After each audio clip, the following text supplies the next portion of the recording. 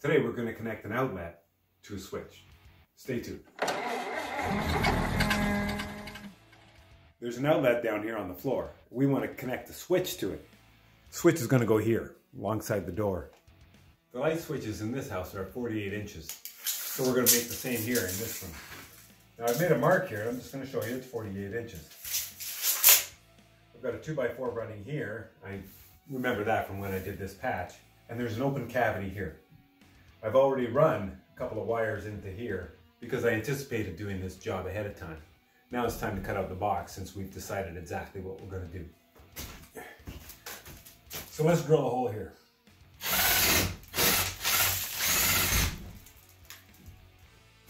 Okay, so now I got my box here. I can set it there and I can make a mark where I want to cut on this side.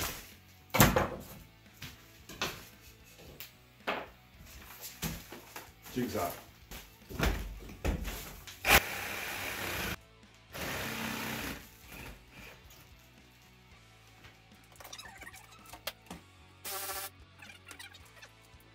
bunch of stuff that you don't realize is in the walls of these old houses. Wait till I dig this out. Yes, you can see it. Pulling an electrical box out of the wall. Back in the days when they were knob and tube. Now the knob and tube obviously has been cut out. There was a light switch in here at one time. Okay, so there's one wire two wires. The wire, this wire down here, is run down to here, underneath, and I'm gonna run that to the outlet on the wall.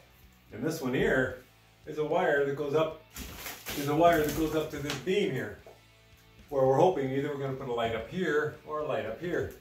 But that's what this wire is for. I'm gonna run it into the box, and I'll make those connections later. Originally when we had the plan, it was going to be either one or the other. I was either going to run this wire from a power source down in the basement to power the lights that were going to be on the ceiling, or I was going to use this wire coming from the outlet on the wall as an interrupter with a switch. But now that we've decided that we're going to incorporate both, I need a power wire coming up from the bottom. You ever come across one of these things? Buy them. It's an electrician's drill. These things are amazing. This one here is uh, six feet tall. What allows you to do, because it's got a certain flexibility to it, is to do just this. I'm going to creep it through the wall, down to the floor, drill through the floor, and it's going to come out the basement. There's also a hole here. That when I do get this through, I'm going to leave it there, disconnect it from the drill, and then I'm going to connect my wire to it. So when I pull this bit, this whole bit back out, I'll be pulling the wire up with it too. Here we go.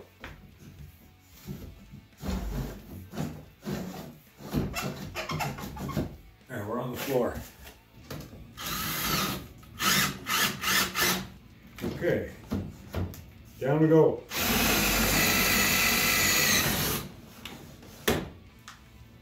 Just like that. Okay. Gotta take my word. There it is. Coming out of the floor. I see the hole. I'm gonna thread, try to thread the ground wire of the cable that I'm gonna pull up through that hole. Hmm, wish me luck. I gotta put the camera down. I got really no place to mount it here. So here's what I got. I got it through, and I got it threaded. Uh, you can see it.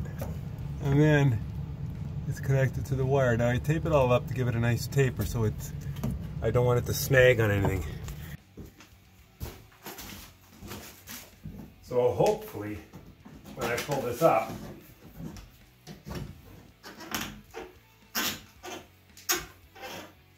I'm getting a little twisting motion as well get it back through the hole. Who knows if it broke? Doesn't feel like it because I got a lot of resistance. There's my wire. Wow. Okay, let's cram this in here.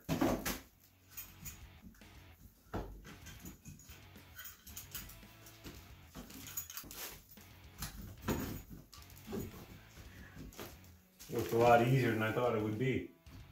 Okay. Okay, I'm gonna put a couple screws in here just to get it secured. Let's push it in there.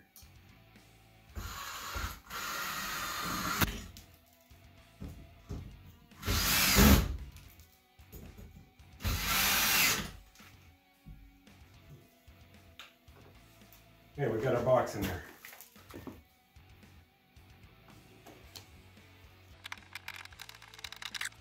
Once you've disconnected the power, it's really only one thing to do here. You want to make this a split plug. Right now, the way that it's wired up, yeah, it's dead. I had to touch it to make sure. As it sits right now, what's happening here is that the black wire is giving power to this circuit and it's tied over to the other one by this brass clip. Now what I want to do is I just want to break that brass clip clean off. There it is. Make sure that these are not touching at all. I even pry them apart even further with a screwdriver. Right, so this, now you know that that's safe. So if I turn on the power again, this outlet is going to be energized, but this one will not because it's not receiving any hot. Okay, I'm gonna feed this wire up here. Hopefully I got a clear path to bring it right through there. Look at that. That's a nice idea.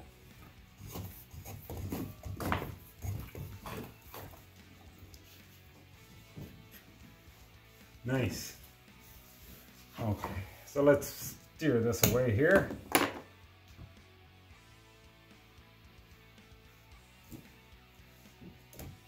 Zoomed in on the outlet just to show you how our wiring is going to work. The wire that we're running to the switch will be used as an interrupting wire. And it's quite simply going to take the power that is going to be coming out of this hot terminal to the switch and returning back through the black to energize the top receptacle. So I'll get this back inside the box and we'll uh, wire up the switch. Once you have your wire over, if ever you have to do this, and sometimes you have to, always go over your 2x4s with some kind of steel plate.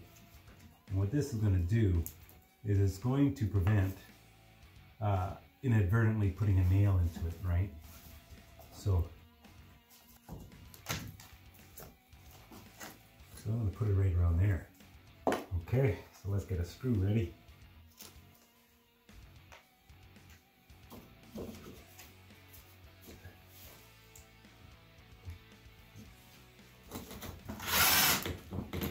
There we go.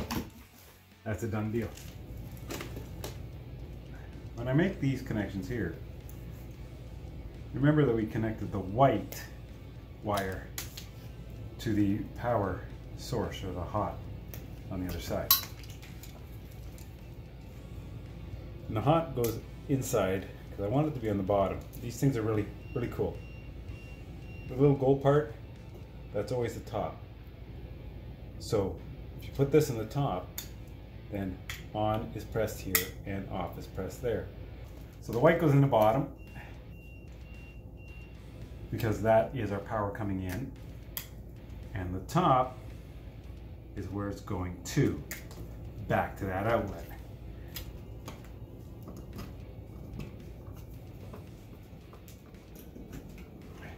And check out other related videos that I've got on electrical and plumbing and mechanical and gadgets and all kinds of stuff. Because at odd jobs, we get into everything. That'll work.